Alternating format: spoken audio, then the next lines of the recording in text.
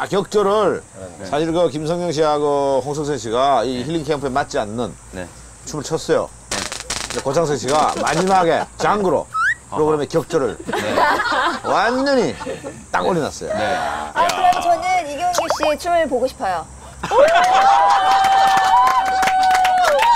왜요? 네? 저는 춤을 춰본 적이 없어요. 어, 왜 이러세요? 음악 주세요. 너무 좋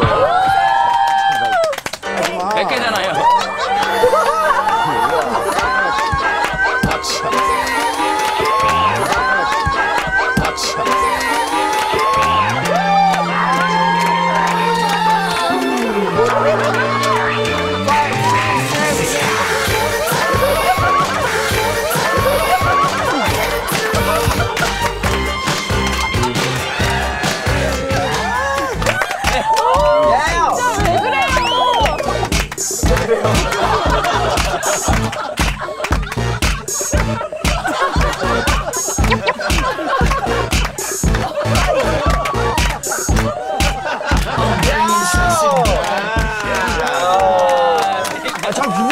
했잖아요. 저는 저는 저는 해보셨어요. 아, 저는 좀 못출 줄 알았죠. 못출 줄 알았지.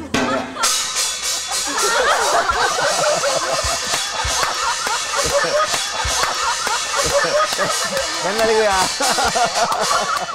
맨날 이거야.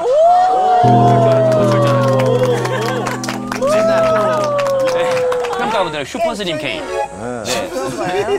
네. 평가분들은 어, 스님 어떻게 스님 보셨습니까? 어떠셨어요? 어떻게 보셨습니까, 스님? 누가 제일 잘한 거예요? 네. 다 잘했지. 그런 거 물으면 어떡해요. 법문스님 어머. 반갑습니다. TV에서 많이 뵙고 어, 좋은 말씀 많이 들었습니다. 예, 정말 감사드리고요. 오늘 제 고민은 사실 제가 이제 평창올림픽 때 50인데 사실 지치지 않으려고 노력하는데 많이 지칩니다. 하지만 끝까지 안 지친다고 계속 외치고 있는데 제가 60, 70대까지 안 지칠 수 있겠죠? 조금 더 덜 지치려면 어떻게 해야 될까요? 스님, 제 눈 쳐다봐 주시고 말씀해 주십시오. 지치고 싶지 않습니다. 지치는 게 뭐예요? 스님, 아, 이제 저걸 보는 게 지칩니다. 아, 지쳐요. 아, 야, 정말 진짜. 여러 사람을 지치겠어요. 예. 아니, 아니, 상담분께서도 공감이 너무 되신대요. 공감돼. 이제 그러죠. 나이를 먹어가면서 마음은 안 그러는데 몸이 지치니까 마음도 지치게 그쵸. 되더라고요. 네. 어떻게 해야 할까요? 어, 세상 만물이 생성된 것은 소멸이 되지 않습니까?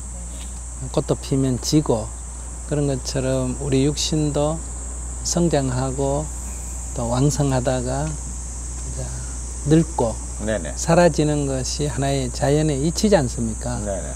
그러니까 당연히 에, 몸이 늙어가면 그 늙어가는 데 따라서 받아들이는 마음이 필요해요. 그 저분은 어떻게 보면 그 늙어도 나는 안 지치고 사는 길이 없겠느냐 이건 진시황의 욕심과 같습니다. 예, 그러니까 늙음을 자연스럽게 받아들이는 자세. 에, 그것이 오히려 지치지 않게 만든다. 결과적으로는. 아하. 그러니까 어, 늙었는데도 나는 건강하게 살겠다. 이렇게 생각하면 현실은 몸은 쇠약해질 수밖에 없지 않습니까? 네네. 그럴 때 이제 마음이 지치는 거거든요. 아까 몸이 지치고 마음이 안 지친다는데 그렇지 않습니다. 그러니까 욕심을 내니까 현실이 그렇지 않으니까 마음이 지치는 거거든요. 근데 어, 마음도 같이 지칠 때가 있어요. 그러니까 왜, 왠지 모르게 마음이 안 지치려면 어떻게 해야 될까요? 그러니까 마음이 지치는 게 그러니까 욕심을 내기 때문에 그렇다는 거죠.